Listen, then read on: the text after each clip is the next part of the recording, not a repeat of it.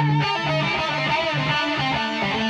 On a whole, I'm really happy with the album. I think it's uh, it, it's a worthy second album, and so far the re- you know the reception's been great. I'm really happy with it. I've been really excited about getting it out, and I hope people like it, and I hope people enjoy it when we play it on tour, when we go you know back on the road again and and play these tracks because I think they are you know whenever I'm writing, I'm always thinking of live. I'm always thinking about how these tracks are going to pan out you know in a show, and uh, also if you get the CD, it's the first time that I ever really took real um, at- at- attention to the space between the tracks. There's a lot of tracks, a couple of them sort of merge together, and a couple of them have spaces because they're too different to mix. And uh, you know, I really did take my time over that. Obviously, when you when you do digital downloads, you miss some of that, and you know, some of that gets lost in translation. But uh, if you buy the CD, um, then obviously you will get you know some uh, some kind of interesting mergers, and you know just the way the mood can shift from one to another. And I try and keep you know keep the pace going as uh, as is the whole you know the whole idea of it.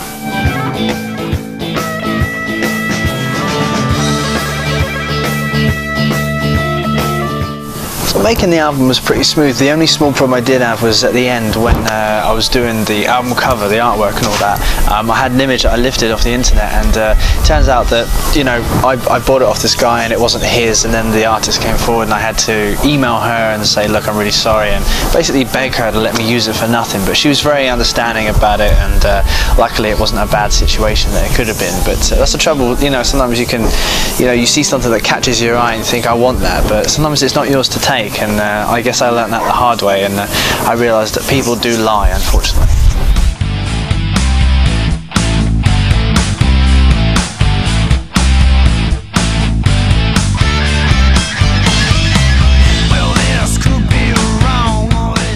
There are some great guitar performances on this record. And you got Nathan, also you've got Nicky, and you've got Reese. I mean, Nicky Cotter was a guy, a Scottish guitarist I saw on YouTube, and he was playing like Steve Vai, like perfectly. And uh, where I come from, if you see a guitarist playing that well, then you grab him and you try and persuade him to uh, perform on your record for you. But he did a great job on a couple of tracks, and uh, yeah, some really great talent on there, and I'm really happy with how it all sounds.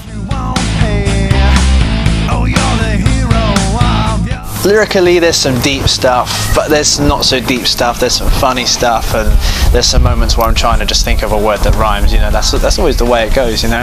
I think people can think too much into lyrics but i mean obviously they're there for you to listen to and think about but i think when you start judging the whole quality of the song by the lyrics sometimes that can get a bit a bit tricky but in the main you know i think uh, i think people will like it Roxy's dad is about uh, a young man who sleeps with a stripper and then finds out that the father is very unhappy about this. And then the father comes after him with you know a shotgun or you know whatever. He's just uh, very unhappy that somebody has slept with his daughter. And uh, it's, it, originally the track was called Angry Father Blues which I thought was a bit too simple. So then I changed it to uh, Roxy's dad which is just kind of you know it could mean anything. But yeah it's about sleeping with a girl and then finding out that uh, her father wants to kill you Bird in the Sky was a track that was originally going to be left off because I thought it sounded a bit too Metallica-esque, a bit too uh, metal for me. But then, you know, a lot of people liked it and they persuaded me to leave it on.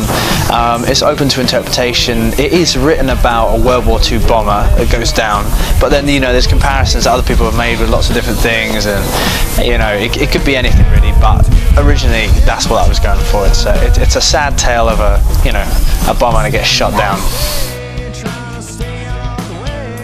The blues element is still in there, obviously, always, and then you've got like the classic rock and roll thing, and then, like I said, Bird in the Sky is a little bit heavier, more virgin towards metal, but uh, you know, you can, you know, you, you can go into it with an open mind and take what you want from it. I think uh, uh, the Rock Regeneration said that uh, Wolf Moon was the first blues track that he had heard that was written about a werewolf, so uh, I will take that as a compliment.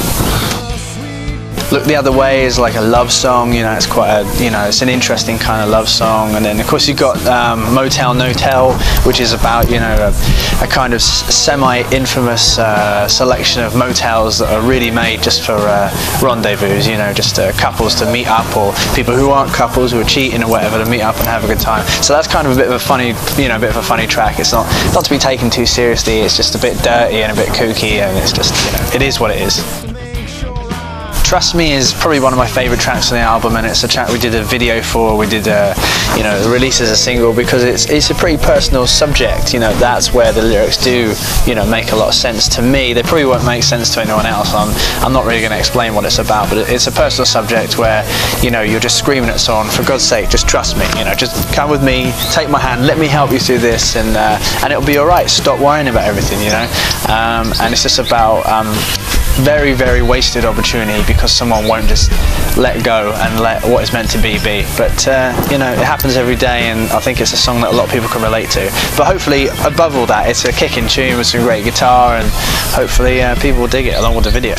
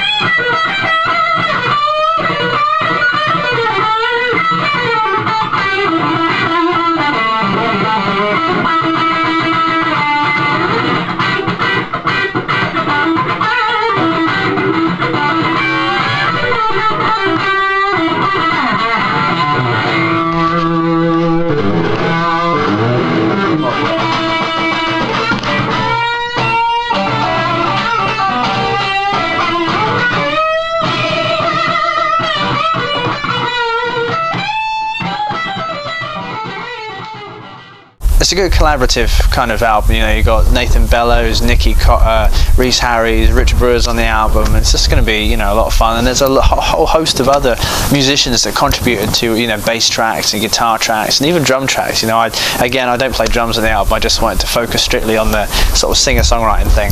But uh, there's a bit of percussion. I, I, do a bit of percussion in there, and obviously the harmonica and stuff. But uh, mainly it's all about the vocal cords for me in this one.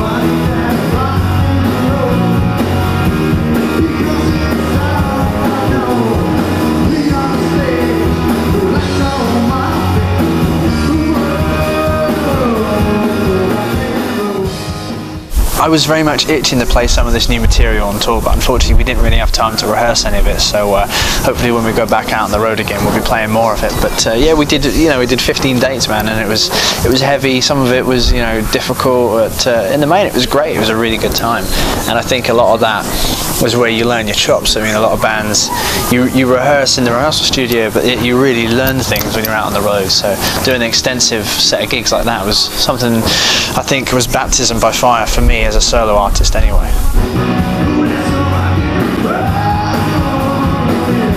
When I first did No Cure for Curiosity, there wasn't there wasn't that much pressure because it was kind of like, okay, I'm just going to do my own thing. Uh, I don't think anybody knows what to expect. So if they like it, then they can take it. If they don't like it, whatever, you know. You know so uh, so basically, when we did this album, there's a bit more pressure because okay, the last album was so uh, so successful that uh, this one, you know, you, you want to make it as good, if not better. You don't want to go backwards. So uh, you know, so many people dug the last album, so I'm I'm, I'm, I'm pretty sure they're going to like this one. But you know, I'm always you know I'm always praying that they do like it because you never know. People's tastes change all the time, and just, you have to try and keep up with that.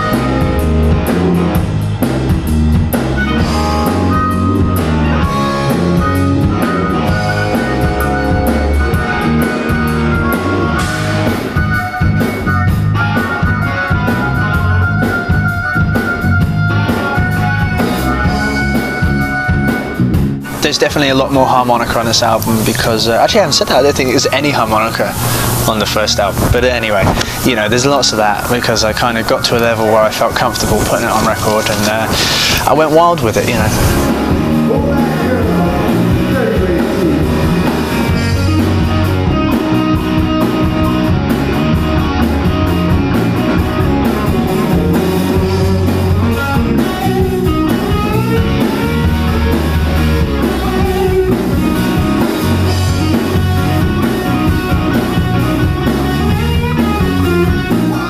Think the album's a lot of fun, and I think, uh, well, look, if it was half as much fun as it was to make, then I think people will have a good time, definitely.